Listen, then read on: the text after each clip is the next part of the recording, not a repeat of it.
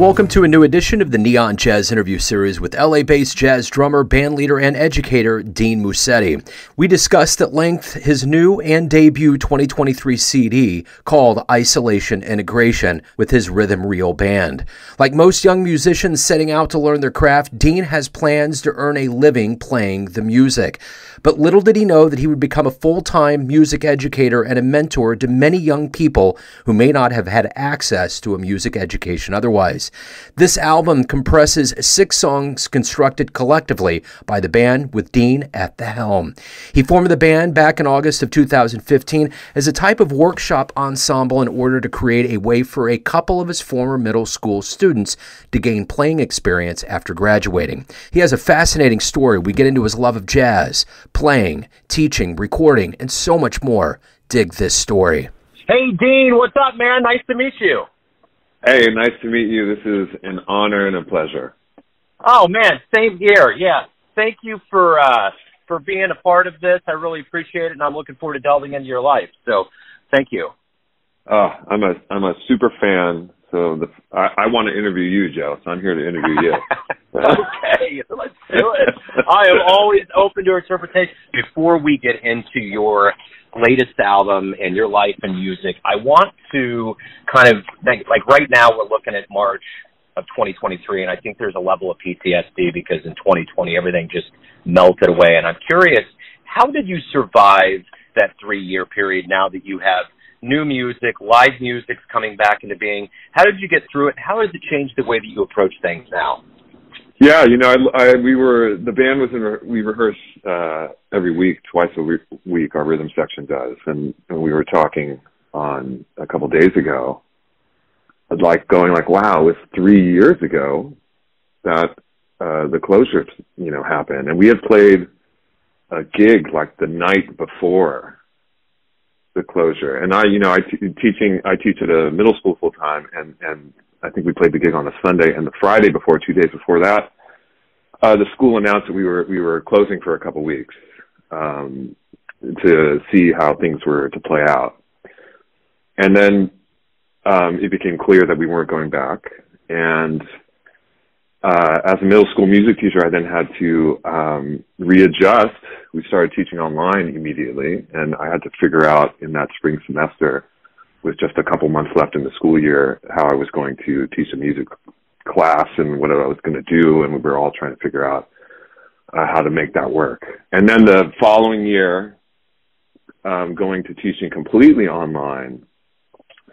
So I, I had a school day Monday through Friday throughout throughout that height of the pandemic, and and teaching from home and teaching on a laptop and you know teaching up to 120 students you know throughout the day and figuring out a music curriculum and um, trying to figure out how how to do it. And it was you know a real stressful time I think for educators. And then um, on the musician side of my life and the band leader side of my life and the drummer side of my life. Um, I looked at the band and, and the band was primarily a, a live performing band. You know, the band was designed to be live performance. I never had the intent of recording. It was it was about. Um, I started the band uh, with with uh, the intent of keeping some former middle school students of mine playing after high school. So I, I formed the band around them and and to get uh, for us all to get experience playing live together. Um, and when that closed during the pandemic, um, I trying to make a way out of what seemed like there there wasn't any way at the time, and um, turned the focus. Well, if we can't play live, let's let's focus on on the recording. Let's let's let's see if we can make an album during all this. So, uh, in addition to teaching music online at the middle school, uh, we would still rehearse once a week in our guitarist Dory Wallace's backyard. We moved from the rehearsal space that we because we didn't want to be inside, so he has a house here in the North uh, West Valley, uh, San Fernando Valley, um, and we rehearsed uh, once a week every Sunday outside, away from each other, and we did that for about a year and a half until it was the post-vaccinated um, situation, and then we started getting back in the rehearsal room together. And in that time, we were developing material, more more type of original material, uh, things that were different than what we were playing previously, um, and developed the material for the album over the time outside in the backyard, and then we moved back into the rehearsal space, and and and that was my you know my existence through that through the pandemic was uh, teaching middle school music online and and working still trying to work with the band in in in whatever way possible. So the name of the new album is Isolate Integrate. What a perfect name, and it has to feel good based on what you explained how you came to this album. Just to feel like you, you got an album out. We're we're heading into the warm months that we're officially heading into post pandemic. This has to feel good. Uh, it does. You know, I mean, that this was the the trajectory that we had set uh, was to you know create a work um, that that we could record, create pieces of music that we could record and and put out, and that was the focus. You know, like I explained when we couldn't play live, and to have it uh, come into fruition, you know, which is now three years later, and to um, have it released, I mean, it's really it's really special, and I and I can't like be grateful enough uh, for my rhythm section bandmates, uh, for Dory Wallace on guitar, Miguel Ortiz on bass, and John Aparicio on the guitar, um, who's the nexus of the band, um, to to realize this with me and to work through the pandemic and to work week after week to to realize you know and actualize this dream, this long-standing dream that I've had, you know, for since I was a teenager, playing music and being in a band, um, playing drums, and um, to have this, um, you know, what is physical, like in, in the CD form, even though you know many people don't listen to CDs anymore, but to be holding, you know, the the work in, in a tactile way, in this, this physical album with liner notes and, and this album cover and and looking at the back cover and then and then all the you know looking at it online and, and what will be the digital release and, and uh, where it is on the Orenda Records website.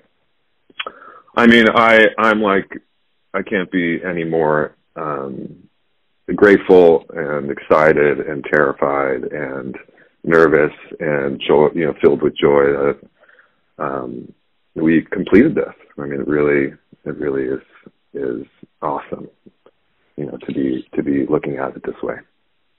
So let's go back to that part of your life you talked about being a teenager and wanting to have your own band. Let's go way back to the beginning. Tell me a little bit about how the seeds of not only music but jazz got into you, early influences, and how this journey started to become who you are today. Yeah. Um, well, back back when I was born, no. Uh, start, uh, you know, the journey started in, in, in you know 1977. I was born January 14th, 1977, and um, I have a very early memory. You know, I grew up. Um, I had an older sibling. My my my sister's two years older than me. Um, was very into music. She was like a, a really huge fan of, of the band at the time. It was called Duran Duran uh, there's Duran Duran is still around, but that but she was a very big fan of of of that group, and this was you know like the mid mid '80s. Um, and there was a show we didn't have cable, um, but but there was a show on regular TV called Video One with Richard Blade, where it was like a 30 minute show in my memory, and and he would show music videos that were on MTV, but we didn't have MTV, so we would watch you know Richard Blade Video One. Um, and she was such a huge fan of of Duran Duran, a fan of this band, and you know, I looked up to her. You know, I really looked up to my sister. I thought she was cool, and and I wanted to connect with her, and and you know, this is something she was really excited about, and and so I would sit there and watch it with her. And I remember watching the videos um, and and seeing the drummer um, uh, from the band and going, you know, having some kind of connection or like some thought that I want to do that. That's what I want to, you know, that looks cool. Um, my sister started taking guitar lessons and piano lessons. So when my mom asked me, you know, do you want to take piano lessons? Do you want? And I was like, no, I want I want to play drums. And she, I have the memory. I can see like I'm at the steps in our living room, you know, responding to her, and she said, no, you're not going to play drums. You know, your grades. You need to do this. Like, you're going to take piano lessons. And I, I um, begrudgingly said, okay.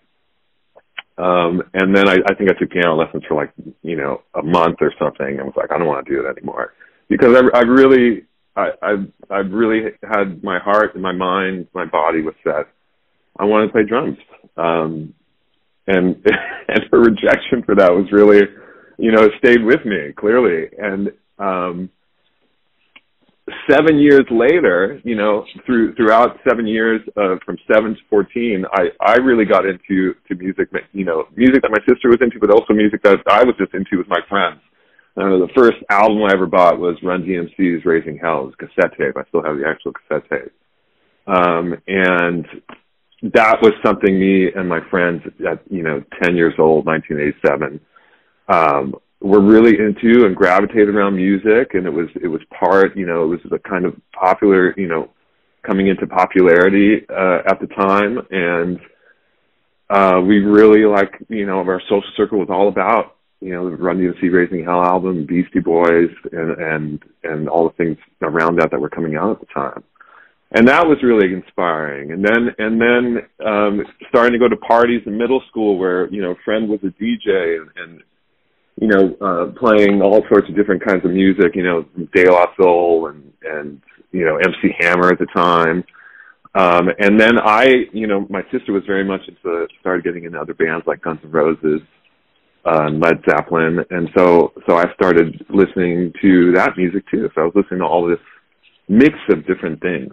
Um, and at 14, like the freshman year, you know, uh, like between eighth grade and ninth grade, like 13, 14 years old, someone in my neighborhood, um, who I grew up around had a, had a drum set in the garage and they were into, into bands like TSOL, uh, the Dickies, like, uh, like all these punk bands at the time.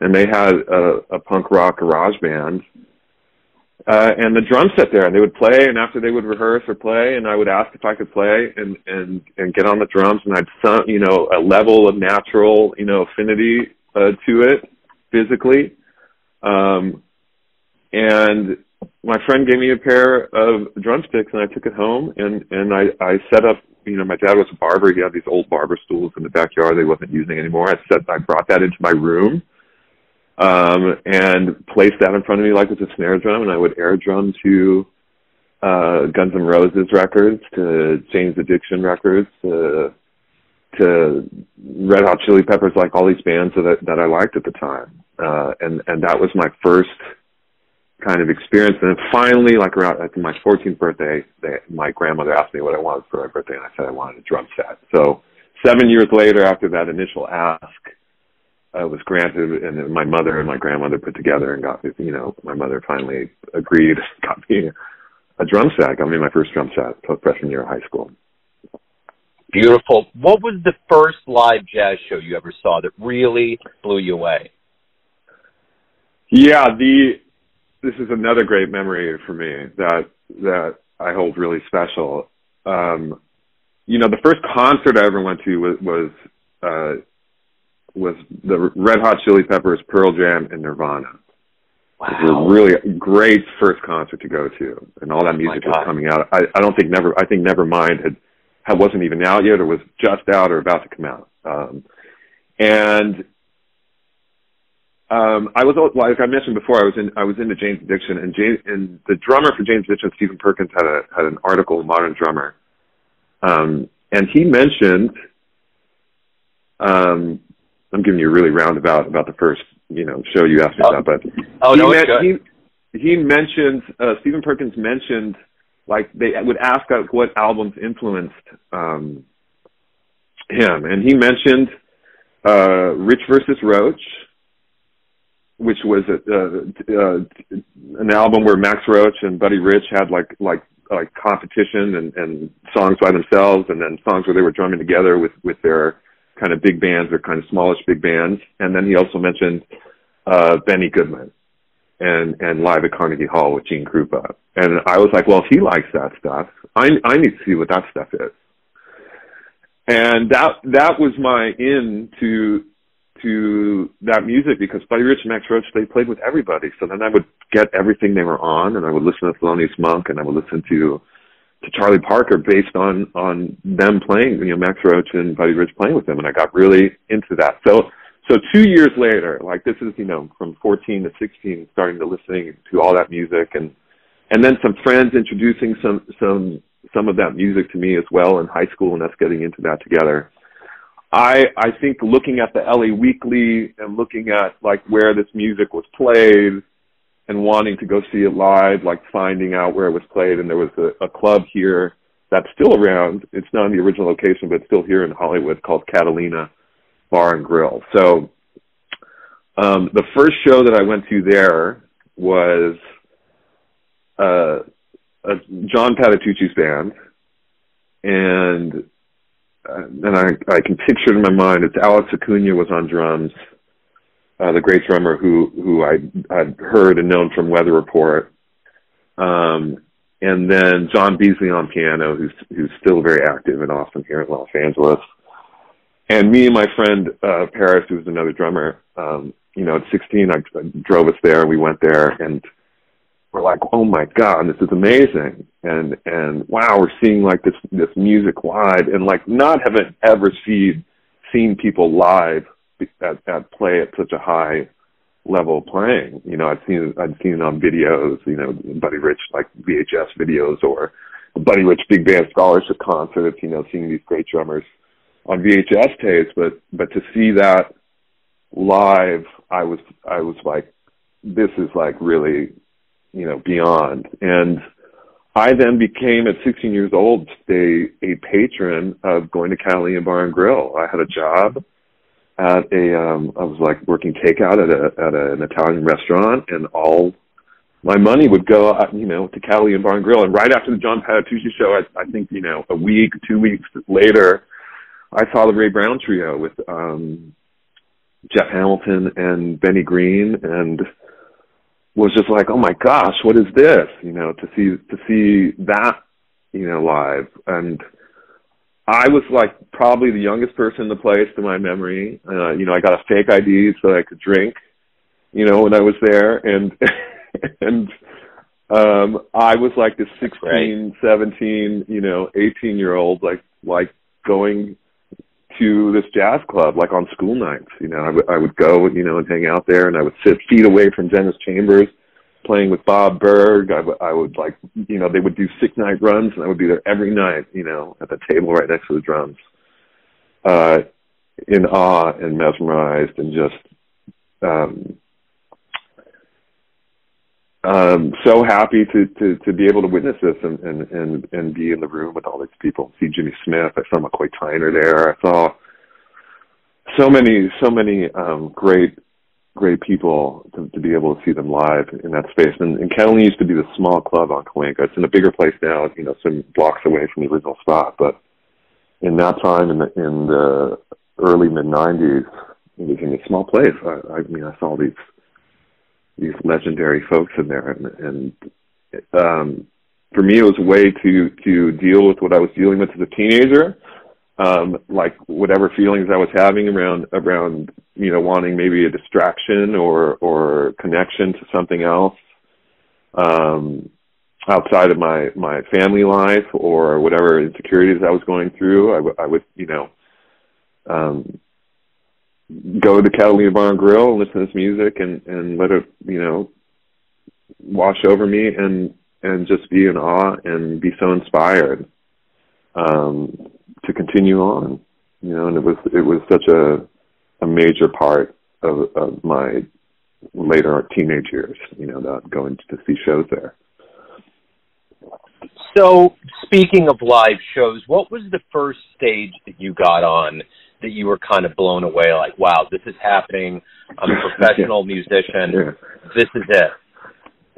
You know, I don't. You know, Joe. I don't know if I'd call myself a professional musician. Still, to this day, to this day based on, you know, I always say, you know, I'm a middle school music teacher and I'm a musician, you know, as well. um, and and I'm okay existing, you know, as as, as that. Um, and at the same time, like being blown away on stage, like I, you know, I, I had played my uh, first show with with my first band that I had in high school uh, with my friend Errol Cooney, who's who's a fantastic guitarist. Errol now plays. He's going on tour with Janet Jackson uh, next month. He's played guitar for Stevie Wonder, you know, for years.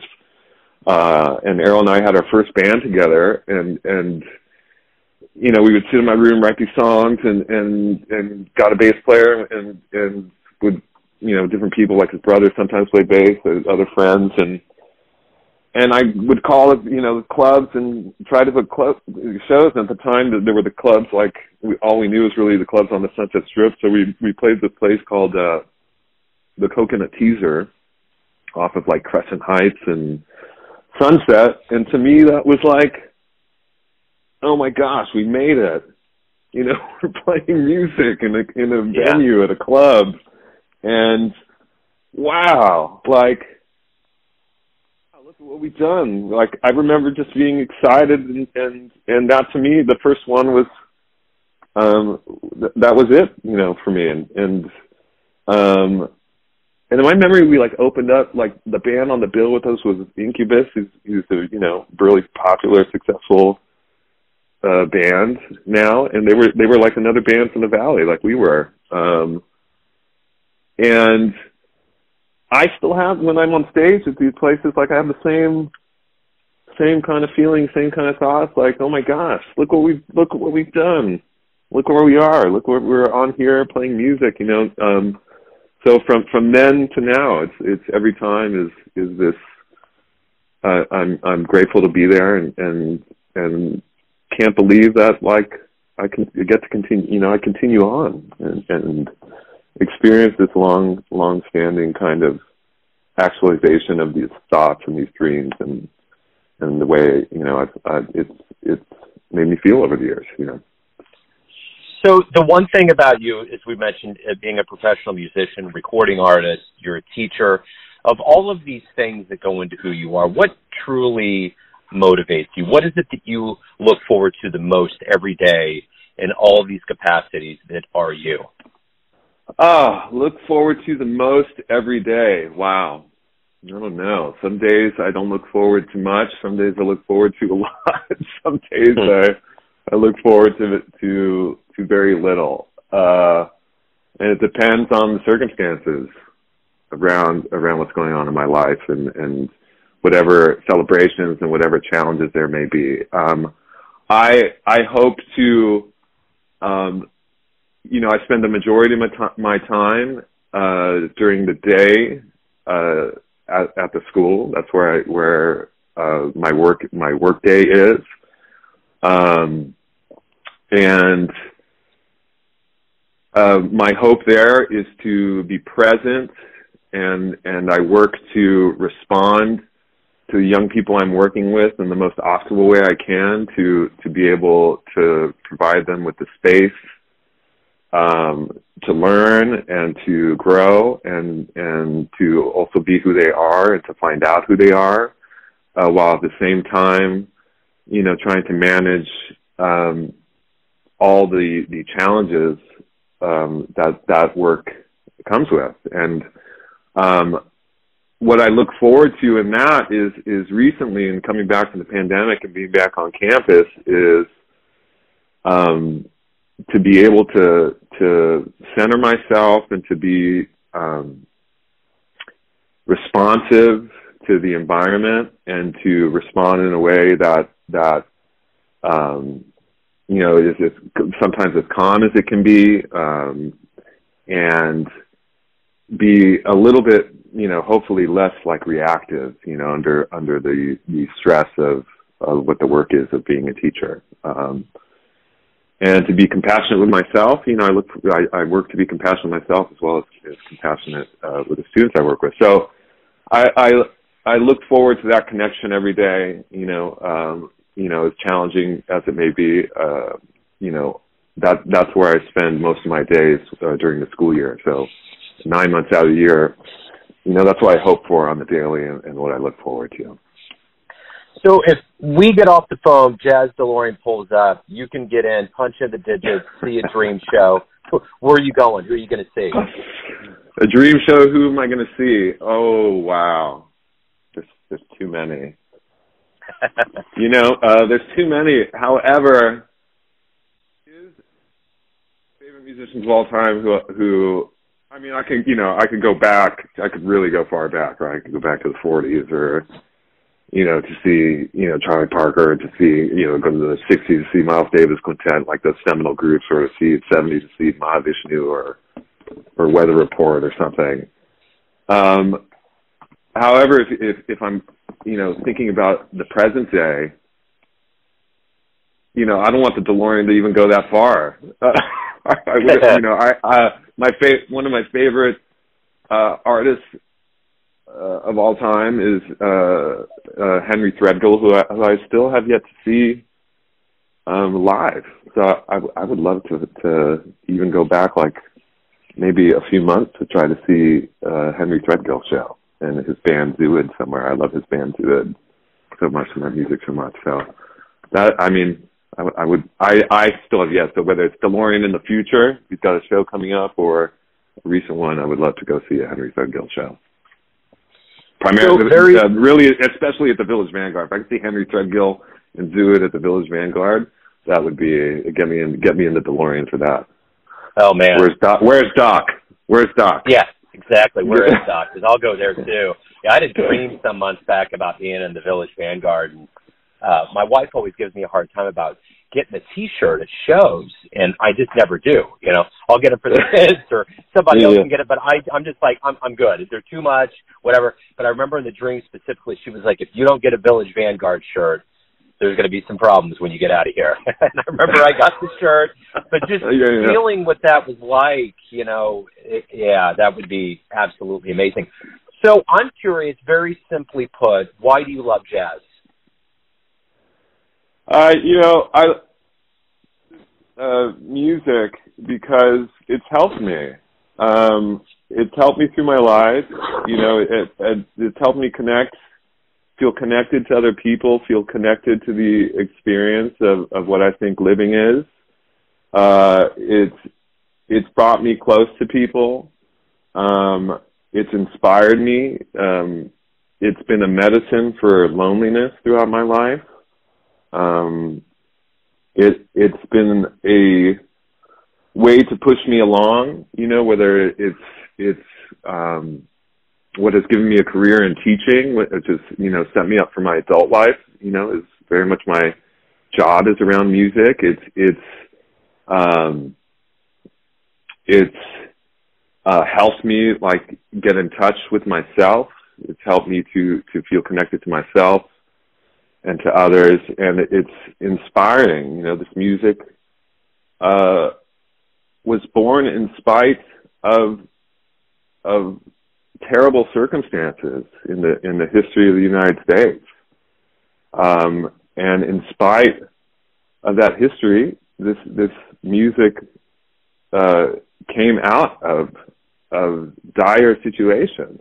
So um, I, I, you know, can't think of something, you know, to be to look at to to find some inspiration in in what it is to um, triumph over over adverse circumstance um, in some respect. So um, all those things I mentioned and more. I mean, it's hard to put into words, but you know, that's that's as, I think as best as I can put it right now. Man, that was well well said. So everyone out there has an idea or perception of you, your family, your friends, your fans, your students, but ultimately you're in control. You live your life. What's your perception of you? Who do you think you are? Uh, I am. Oop, I am a. Um, you know, I'm. I'm. I'm a human. I'm a. I'm a son. I'm a brother. I'm a friend. I'm a foe to some. I'm a drummer. I'm still a student. I am a teacher. Uh, I'm a musician. I'm a band leader. And uh, I'm someone who's who's still becoming and and, and trying continue to try to be um, the best that I can be in each moment. So my perception of myself is someone who who who continues to grow, who tries to to continue to get better and work with with the the things in my life to to keep trying to find some sense of either moving forward or get more connected with um, myself and, and and to stay uh, inspired to, to to keep moving on day to day.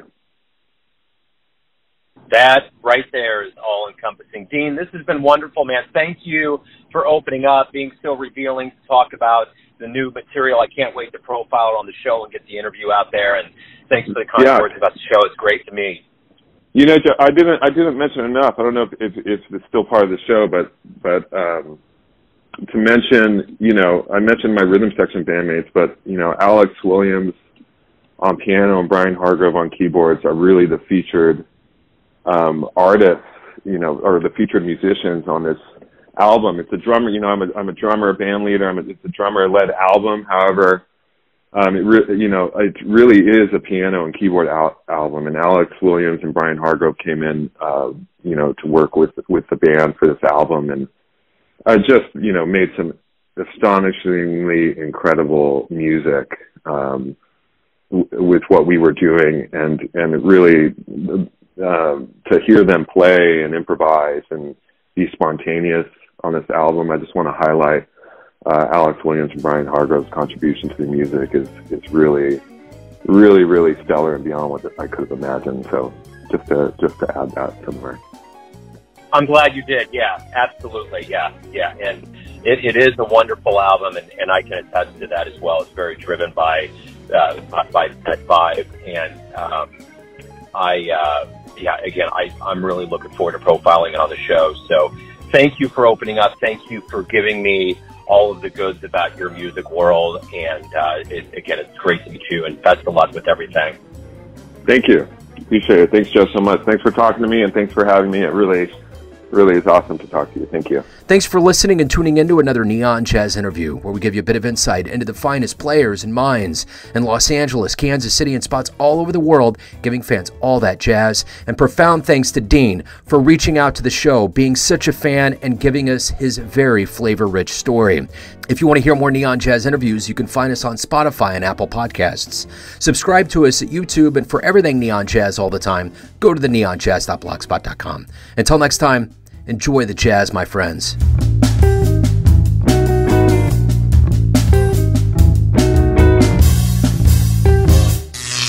Neon Jazz.